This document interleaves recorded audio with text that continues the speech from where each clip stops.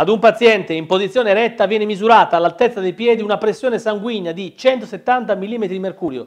Si calcoli il valore della pressione all'altezza del cuore se la distanza fra i piedi e il cuore è 1,2 metri. Densità del mercurio vale eh, 15,59 grammi su centimetro cubo e si consideri la densità del sangue pari a quella dell'acqua. Mi sono scritto i dati qui, è un problema che è stato assegnato ehm, all'esame, eh, un esame della facoltà di ingegneria clinica e biomedica all'Università La Sapienza di Roma il 1 febbraio del 2019, quindi non, eh, no, quindi abbastanza eh, recente. Beh, eh, qui bisogna, per effetto diciamo, della, forza, della, forza, della spinta dell'Archimede, vi ricordo che eh, intendiamo con pressione idrostatica la forza esercitata dal fluido, in questo caso dal sangue, quindi di questo stiamo parlando, che è assimilabile, che ha una densità assimilabile a quella dell'acqua, 10 al cubo, ve lo ricordo, ne abbiamo parlato nel, nei video di teoria, densità dell'acqua è un 10 alla terza eh, chilogrammo su metro cubo, ma visto che ci danno, ci forniscono la densità del mercurio pari a 15,59 grammi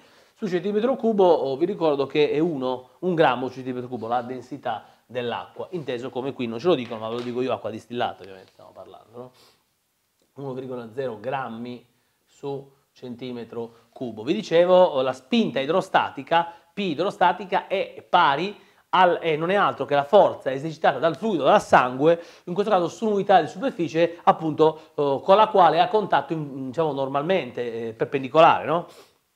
Eh, per effetto della spinta dell'Archimede, vi ricordo che la pressione che viene esercitata, la, questa pressione che viene misurata ai piedi di questa persona, quindi P ai piedi che ho indicato come PP, inteso come piedi, di cui ci forniscono i valori in millimetri di mercurio, 170 mm di mercurio, è pari alla somma della pressione idrostatica più la pressione che si misura all'altezza del cuore. No? Quindi P idrostatica più P cuore. Mettiamo così, così capiamo. No?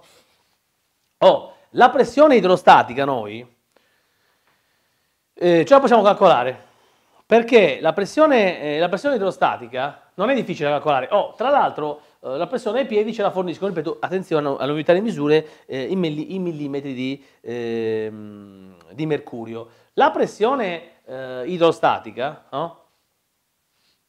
ce la, non ce la danno, però la possiamo calcolare, perché per effetto della legge di Stevin, di Stevino, ehm, la pressione idrostatica, tenendo conto che qui non teniamo conto della P con 0 pressione atmosferica, è, ve lo ricordate chi è? È ehm, Rho G per H, legge di Stevino. No? Quindi questo sarà uguale Rho G per H, dove H rappresenta la distanza che intercorre tra piedi e cuore di questa persona eretta o in piedi, sta, no? più la pressione del cuore. Quindi a noi che ci chiedono? Ci chiedono la densità, no, no, non la densità, ci chiedono la, boh, il valore della pressione all'altezza del cuore.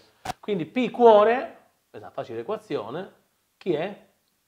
Sarà P dei piedi, pensiamo all'altezza dei piedi, meno Rho G per H, dove Rho ovviamente si intende Rho, ehm, ce lo dicono, del, dell'acqua, quindi attenzione, eh. quindi occhio. Ehm, ora, andiamo a calcolarci un attimo la pressione idrostatica. Quindi abbiamo, guardate, uguale 170 millimetri di mercurio. Qui l'unico problema potrebbe essere rappresentato dal fatto che uno magari va a confondersi un po' con l'unità di misura. Eh, se, non, se non uno volesse confondersi qui, va semplicemente a ehm, o riporta i valori secondo l'unità del sistema internazionale o riporta i valori secondo il sistema CGS. Potrebbe direttamente utilizzare il sistema CGS, visto che ci danno millimetri di mercurio e i grammi su centimetro cubo, però sappiate che qui potremmo scrivere che ρ G per H, chi è ρ G per H? Ovviamente ρ, del, ρ inteso ρ dell'acqua, ripeto. Eh? Oh, ripeto, se vogliamo usare i valori che conosciamo, dovremmo scrivere 10 al cubo chilogrammo su metro cubo, per no, ecco, e ci siamo. Qui ci mettiamo 9,81, 9,8 metri secondo quadro, valore in modulo dell'accelerazione di gravità, e H è 1,2 metri. Vedete cosa otteniamo? Otteniamo esattamente il valore, l'avete riconosciuto? del, ehm, del Newton, otteniamo i Newton su metro quadro, cioè otteniamo i, i Newton su metro quadro che non è altro che il Pascal. E se fate questo conto, ve lo dico subito, con una calcolatrice, ottenete, se fate questo conto, ottenete 11.772 newton su metro quadro, quindi Pascal, che non è che è sbagliato, però dal momento che un Pascal è 760 diviso 1,013 per 10 alla, alla, alla 5, no? sarebbe eh, diviso 1,013 per 10 alla 5 mm di mercurio, si ottiene in definitiva, cioè un Pascal è 7, in pratica un Pascal non è altro che 7,5 per 10 alla meno 3 no?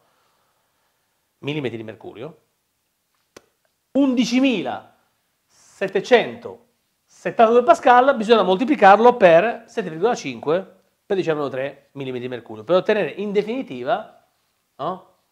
quindi questo sarà 170 mm di mercurio che calcoliamo a fattor comune, meno viene circa 88, tutto mm di Hg. Quindi, ripeto, bisogna fare 700, una volta che abbiamo ottenuto i Pascal, facciamo 760 diviso 1,013 per 10 alla 5 e otteniamo in pratica il valore di 7,5 per 10 alla 3 mm di mercurio.